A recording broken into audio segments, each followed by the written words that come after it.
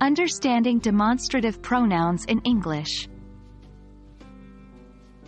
Hello learners. Welcome back to our Grammar Fundamentals series. Today, we're diving into an exciting topic. Demonstrative pronouns. They're an essential part of English grammar, and understanding them well will improve your speaking and writing significantly. So, let's get started. First things first, what exactly are demonstrative pronouns? In English, demonstrative pronouns are used to point to and identify specific things or people. They are this, that, these, those. Remember, demonstrative pronouns replace the noun in a sentence. For example, this is my favorite book. Here, this is replacing the noun, i.e., the book's name. Those were the days.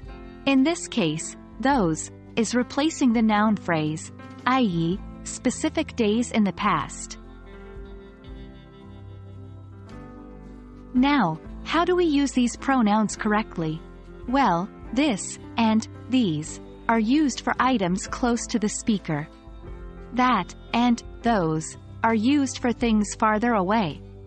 For example, this is delicious when the food is right in front of you. That is my house. When you're pointing at your house from a distance. And remember, this and that are used for singular items, while these and those are used for plural items. A common confusion occurs between demonstrative pronouns and demonstrative determiners. The distinction is quite simple.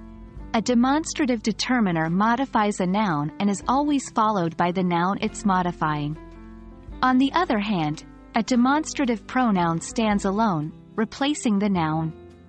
For example, this cake is delicious. Here, this is a determiner, modifying the noun cake.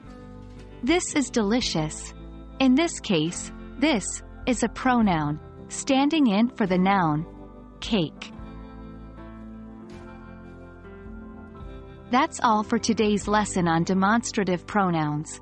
I hope you found this information useful and easy to understand. Remember, practice makes perfect so try to use these pronouns in your daily conversations and written English. Thanks for joining me today, and keep learning.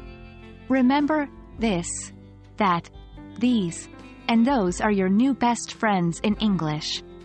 Use them wisely and make your sentences more accurate and expressive. See you in the next lesson.